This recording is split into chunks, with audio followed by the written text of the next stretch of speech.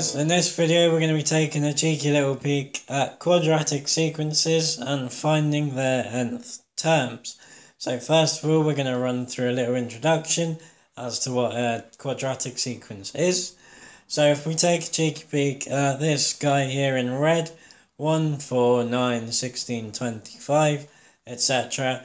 That should look a little bit familiar because it's a progression of square numbers.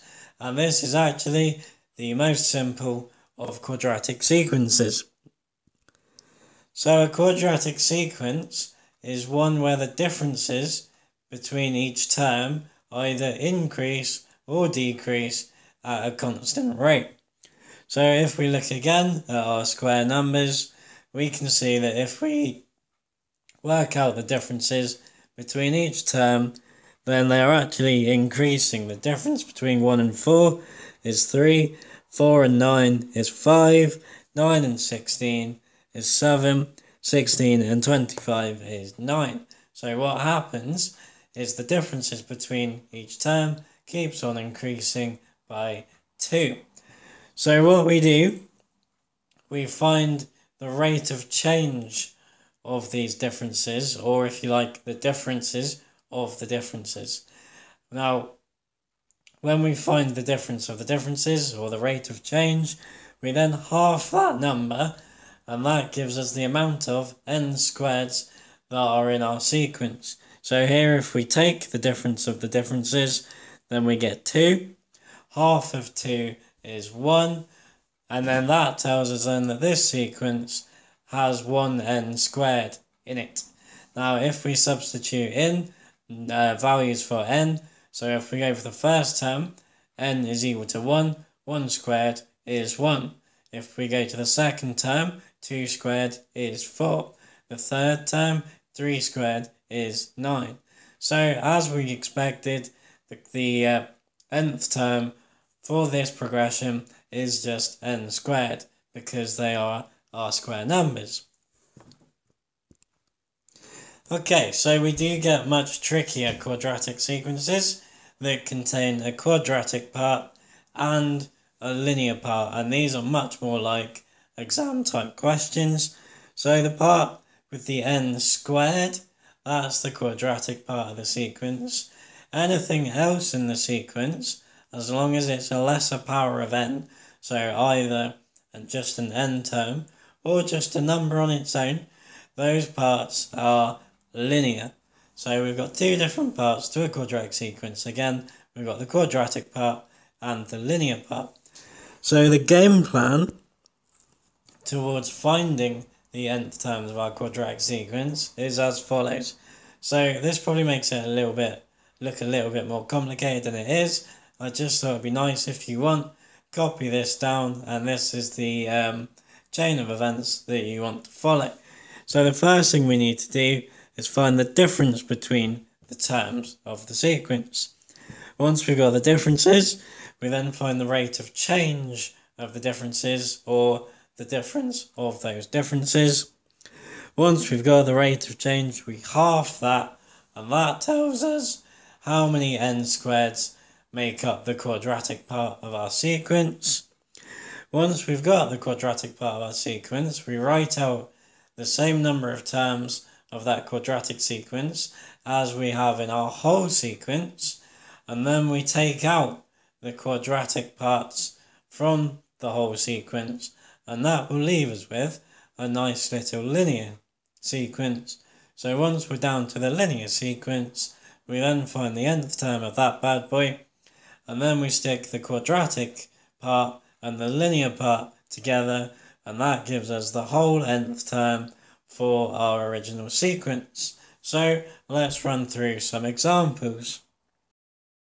Okay then, first example, looking at this bad boy, so 4, 11, 22, 37, 56.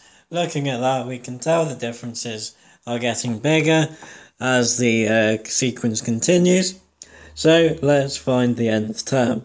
So step 1, we want to find the differences between each term. So 4 to 11, we're adding 7. 11 to 22, we're adding 11.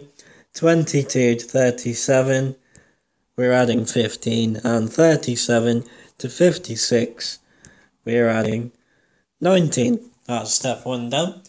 Now we need to find the difference of our differences, the rate of change. So to go from 7 to 11, we add 4, 11 to 15 again, we add 4, and 15 to 19, we add 4. So if the rate of change, or the difference of our differences is 4, that means that the quadratic part of our sequence is 2n squared. So again, that's the quadratic part of our sequence. Now if we write out the first five terms of 2n squared, we're going to get 2 times the square numbers. So 2 times 1 will give us 2. 2 times 4 will give us 8. 2 times 9 will give us 18. 2 times 16 will give us 32. And then 2 times 25 will give us 50. Okay, so there we've got the quadratic parts of the sequence written Now, If we now take those away from the original sequence, then it's going to leave us with a linear sequence. So, for example, if we do 4, which is the first term of our sequence, take away 2, which is the first term of 2n squared, then that's going to leave us with 2. Then for the second term, if we do 11, take away 8, that's going to leave us with 3. Then 22, take away 18, is going to leave us with 4. 37, take away 32, it's going to give us 5 and 56 take away 50 is going to give us 6.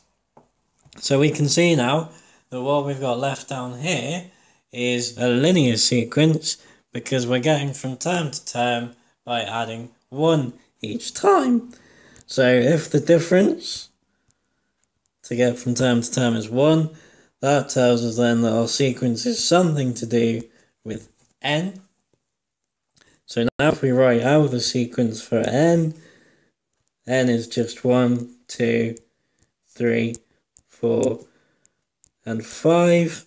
So then we need to work out how do we get from n to the, the, the, linear sequence. So how do we get from 1 to 2? How do we get from 2 to 3? How do we get from 3 to 4? And the answer to all of those questions is that we add 1. So the linear part of our sequence is n plus 1. So the sequence altogether then is the quadratic part added to the linear part. So 2n squared plus n plus 1. So the nth term of our whole quadratic sequence up the top is 2n squared plus n plus 1. Job's a good one. Okay, example two. So let's have a crack at finding this guy's nth term.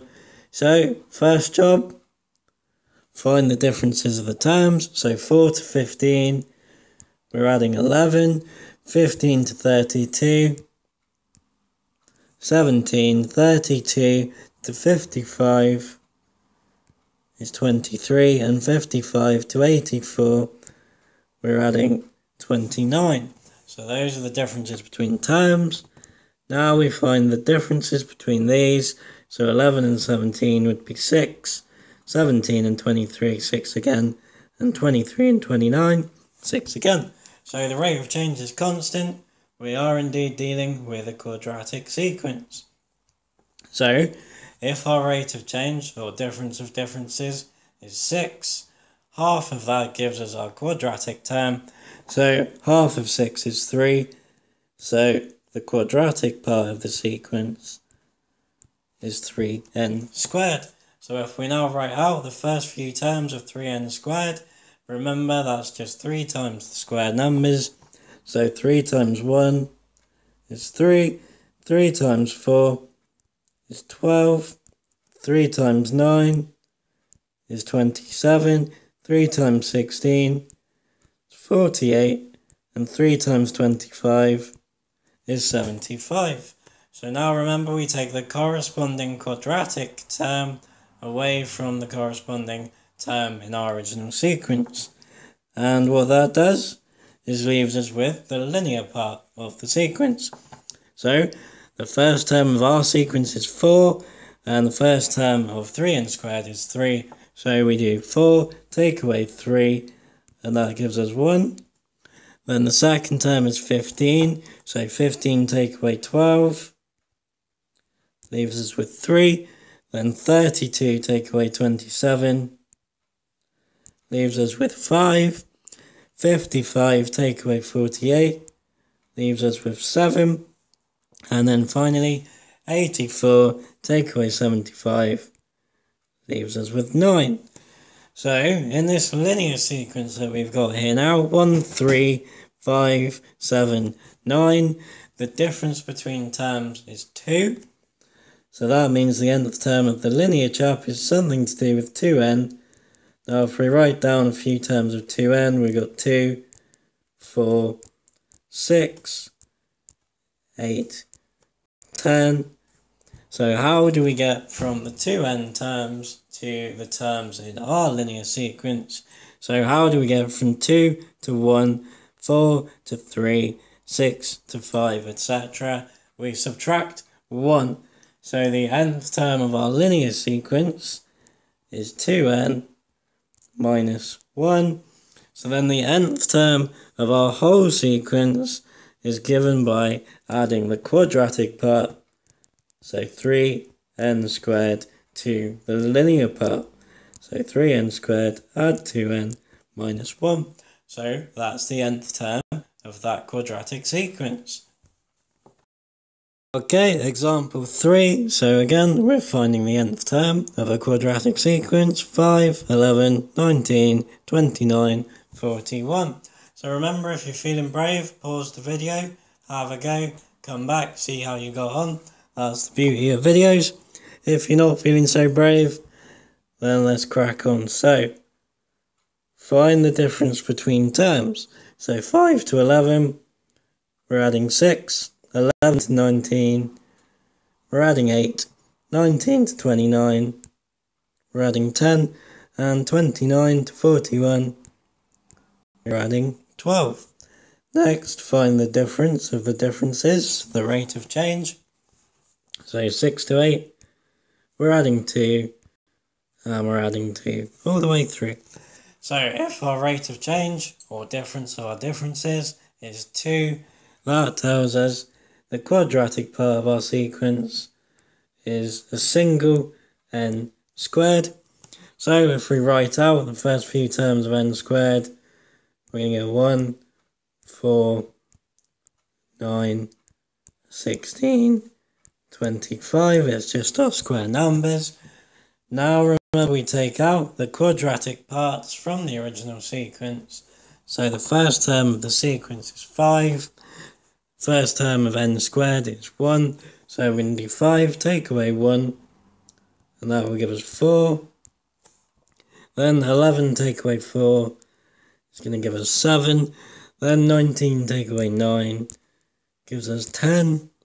Then 29 take away 16 gives us 13. And finally, 41 take away 25 gives us 16. So now down there, we've got our linear part of the sequence. Now we can see that the difference in the linear term is 3. We're going up in 3s to get from term to term. So that tells us the linear part is something to do with 3n. So if we write 3n out, we've got 3, 6, 9, 12, 15 is just our 3 times table. And then we need to work out how do we get from the 3n terms to the terms in the linear sequence above it. How do we get from 3 to 4, 6 to 7, 9 to 10, etc. We add 1. So the nth term of our linear sequence, our linear part, is 3n plus 1. So then, altogether, the nth term of the quadratic sequence is n squared, which was our quadratic part, plus the linear part, 3n plus 1. Jobs are good and again. Okay, we're going to look at one more here, guys, and this time we're going to be looking at a decreasing sequence. So the steps are all the same. The only difference is we've got negative differences. So from 19 to 15, we subtract 4, 15 to 19, we subtract 6, 9 to 1, we subtract 8, and then 1 to minus 9, we subtract 10. So then if we find the differences of those, minus 4 to minus 6 is minus 2, so is minus 6 to minus 8, and so is minus 8 to minus 10. So we have constant differences of our differences. We are indeed dealing with a quadratic sequence. So, so if our rate of change is minus 2, half of that is minus 1, so that tells us the quadratic part of our sequence is minus n squared. So that's negative, the square numbers. So if we write out the first few terms of that, we go minus 1, minus 4, minus 9, minus 16, minus 25, etc. Now we take the quadratic part out of the original sequence so we get left with a nice linear guide. So, first term of our sequence is 19, the first term of minus n squared is minus 1. So be careful here because we're now doing 19 minus minus 1. So that's going to give us 20. And then we got 15 minus minus 4, which is 15 plus 4, which is 19. Then we've got 9 minus minus 9. 9 plus 9 is 18.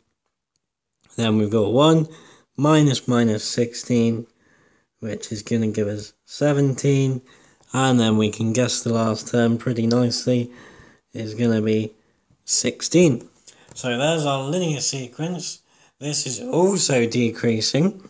Now the difference is minus 1 to get from term to term. So that tells us that the n part of the linear sequence is minus n. So that's minus 1, minus 2, minus 3, minus 4, minus 5. And now we need to work out how do we get from minus n to our linear sequence. So how do we get from minus 1 to 20? How do we get from minus 2 to 19, well, we add 21. So the linear part of our quadratic sequence there is minus n plus 21. And then finally, to get the nth term of the whole sequence, we stitch those two together. So we've got minus n squared minus n plus 21. Okay guys, that's how we find the nth terms of quadratic sequences. Hope it helps.